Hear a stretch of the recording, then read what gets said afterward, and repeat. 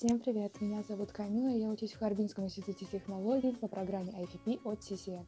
Сегодня я отвечу на самые интересующие вас вопросы для дальнейшего обучения и проживания в Китае. Вопрос. Как сильно нужно знать английский, чтобы начать обучение? Вообще, если честно, нужно иметь хотя бы базовыми знаниями. Не нужно знать много для того, чтобы просто начать учиться, хотя бы минимум потому что все учебники, по которым вас обучают, они с переводом на английский язык, китайские слова на английский язык. А вам же будет легче, если вы будете знать английский и сможете сразу понимать, что означает слово, а не сначала искать английский перевод, а потом с английского на русский. Это будет максимально неудобно. Учителя тоже говорят на английском. Да, не все, но как бы чтобы изъясняться в самом начале обучения, если нулевой китайский, то было бы неплохо хотя бы владеть базовыми знаниями английского. Но здесь, в Китае, э, другие люди вообще не говорят на английском. Очень сложно встретить китайца, который будет э, с вами говорить на английском языке. Вопрос, чем и где питаются студенты в Китае?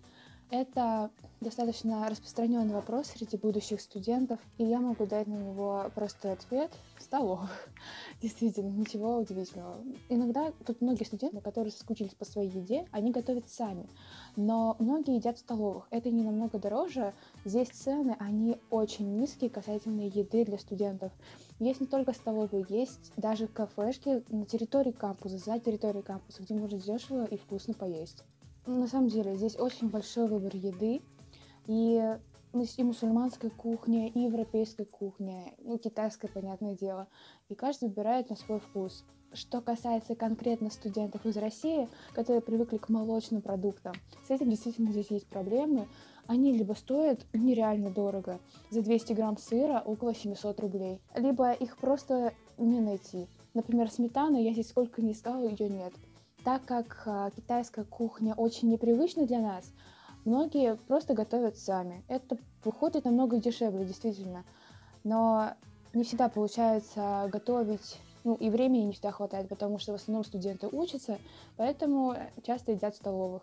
Здесь на самом деле, несмотря на то, что Еда очень своеобразная, каждый студент найдет то, что ему нравится. Спасибо большое за то, что вы посмотрели это видео. Я надеюсь, я смогла ответить на два самых важных вопроса для, для будущих студентов Китая. Это действительно очень важно, и я жду новых вопросов, на которые вы получите ответ. Пока!